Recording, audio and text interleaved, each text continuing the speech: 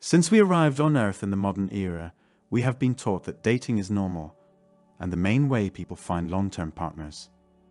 We never even considered it. Dating is the worst way. Most people, men and women, fail. We join the line to find a long term partner. Dating is the worst approach.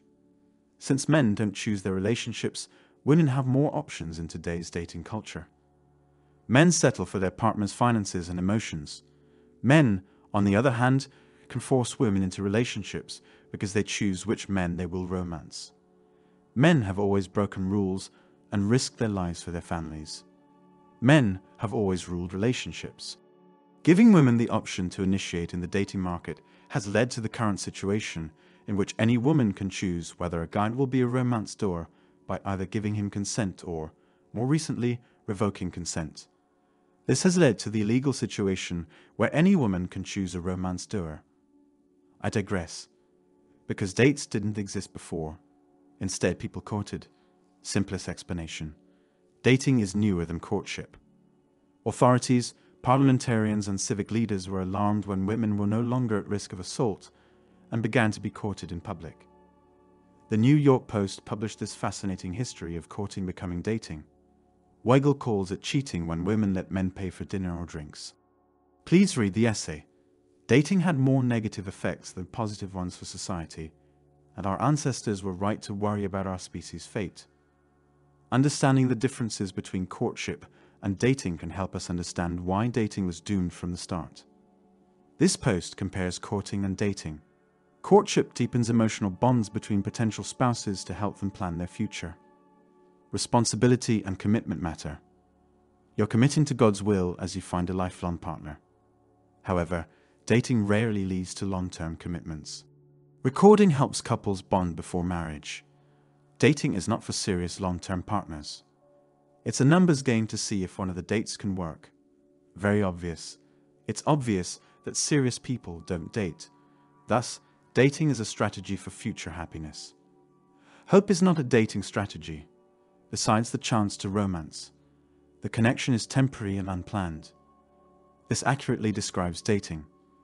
Today's daters mostly want free food, cash, entertainment, and a break from their partners.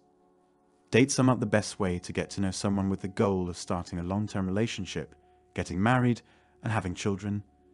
Dating is all about the present for both parties. Let's examine dating's biggest problems and why it will die out. I've explained why dating was doomed from the start. The dating market is imbalanced, which contributes to the industry's poor performance. Most YouTube viewers have seen the 80 20 and 90 10 rules. The 80 20 and 90 10 rules say women want the top 20% and 10% of men, respectively. YouTube has both rules. I'll explain everything so you can see the big picture and why it matters. Customers shop at marketplaces, supply and demand dominate there. Customers shop there.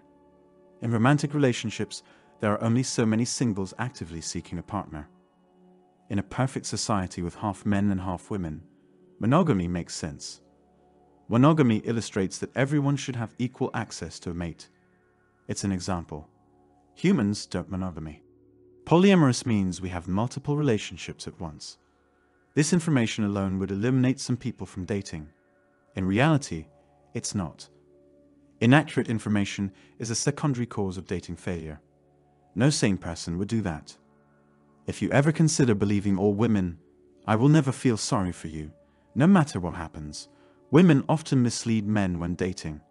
They discuss personal matters that, if the male had known, would have ended the relationship. Accountability is women's kryptonite, so my history shouldn't matter. Women want to act freely without judgment or exclusion. Women want this freedom. For a man who wants a long term relationship with a woman without surprises. This information may determine whether they stay together after receiving incorrect vehicle information. A seller is guilty of fraud if a buyer decides not to buy a car from them. When the car breaks down, the customer should be furious with the seller if he knows the whole story. He was surprised when the repair cost was much higher than he expected. In romantic relationships, women would go to great lengths to deceive their partners, selling them on an idealized image of themselves when he would have left them for good if he knew the truth. Imagine that this woman was one of the best competitive cyclists despite having terminated four pregnancies, abused drugs and alcohol, cheated in every relationship, and had an incurable case of itchy scratchy. If she doesn't tell the new boyfriend this, he won't know whether to commit to her long term. How bad could this get? Men may think they are dating a sweet and innocent girl, but the truth may come out months or years later when he has made a commitment he cannot break. That man would bear the consequences of being missiled. Unfortunately, paternity fraud cases frequently involve this. These examples explain why so many relationships end tragically. Marketing yourself is different from lying to get ahead. Promoting yourself does not lie. To help us, please watch this video. Please subscribe and send this video to anybody you think will benefit from it the most.